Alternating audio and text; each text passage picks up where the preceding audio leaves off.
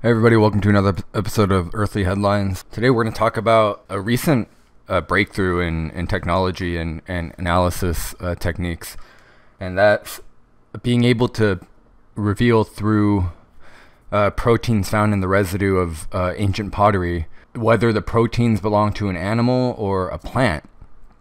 And from here we can uh, derive their exact cuisine, because up until now it's been uh, kind of up in the air it, it, it was kind of guesswork. Now uh, that we can know definitively the diet of the people, specifically living in 8,000 years ago uh, Turkey, this uh, we've mentioned it before in the show, uh, Çatalhöyük. It's known, the settlement of Çatalhöyük is one of the earliest known uh, centers of agriculture. And this this place is 8,000 plus years old and it's really close to Göbekli Tepe, so it makes sense that um, if if you were to believe the theory that Göbekli Tepe was a center of learning and education specifically for uh, fostering the growth of a civilization, which agriculture is the backbone of, then it makes sense that a nearby uh, powerhouse of agriculture would be a place like Çatalhöyük.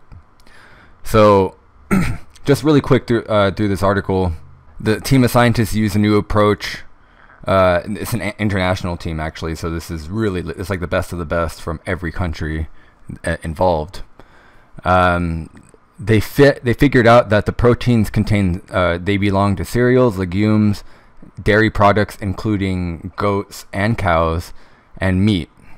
And in most of the cases, they are narrowing down to uh, the specific species that live there, which doesn't it doesn't sound like a huge thing. Some people are probably surprised that they didn't know this already, but they didn't. And it it's this is a, a, a milestone in getting the really really accurate uh, search results and technology to really pinpoint exactly what was going on back then. Because remember, the ultimate goal is to find definitive evidence as far back as possible to really leave no doubt as to what was going on in our in the ancient past, especially when it comes to humans. So this is a huge. If you were to look at this, you would say that oh yeah, this is a huge step up in in the in the quality of information that we can uh, glean from this era of, of uh, human human history. It, it is a big deal, which is why I'm talking about it. So specifically, the researchers analyzed vessel sherds from the west mound of Çatalhöyük, and this uh, this time frame they narrowed this thing to 5900 to 5800 BC. Um, this, so this is towards the end of the site's occupation. What they found were uh, calcified residues on the inside surfaces. So uh, these things are kind of frozen in, in time now. This limescale residue is very on the inside of cooking pots is also very common. So what they did was they used the latest up-to-date protein analyses on the samples taken from the ceramics and what they determined was one thing was they were able to determine which animals were actually being used for the milk so some were for being were being used to eat their meat and the others they specifically used for a dairy animal product so the dairy products were shown to have come mostly from sheep and goats and some from uh, the, the bovine family. The non-dairy stuff included meat and blood from the goat and sheep family, and some cases deer and other cows. The the plant remains that they found were what I said earlier: barley and wheat, legumes, peas and vetches. Interesting enough, some pots contained both types of foods in one vessel, so that means they were mixing their foods in their cuisine. So either as a porridge or soup or both. So that's also an interesting nugget of information too, because now we know that they weren't just eating raw food. They were they actually had they were putting stuff together. They had recipes and formulas for stuff even back then. And that does, again, that doesn't sound like a lot, but remember that's if you want to if you're talking about cooking, that can be to, by today's standards that is considered an art form meaning that there's a pleasing way to do it. There's there are levels to it, and they've been doing this way back in the day. So I think that the fact that they were cooking stuff and and using specific ingredients, that's up there with rock art, I think, and and cave art, um, because that requires some level of intelligence and skill, and an aesthetic. There's an aesthetic to it. um, as well. And then uh, another thing we we talked about we did made a cheese video earlier. Uh, some of these finds um, suggested that they were making uh, cheese back then, and they had a bunch of different uh, dairy production methods that separated the fresh milk into the curds and whey. The other interesting thing about this study was the discrepancy between the uh, the, the different protein sequences for different uh, foods. So, for example, there's only six protein sequences for vetch in the database, whereas for wheat there's over 145,000. So, an important aspect of future work will need to be expanding these databases with more reference sequences. So, basically, they need more uh, protein sequences to identify as markers to see what's what, basically. So, in the case of vetch, if there's some other unknown protein sequence that was vetch, well, they wouldn't know it, right? Whereas with wheat, they're they're pretty good on wheat in terms of uh, all the different uh, sequences for that. And the last thing um, the article talks about are the other molecular techniques applied to ancient pottery. So uh, they review they they separated all their findings into different broad classes of food.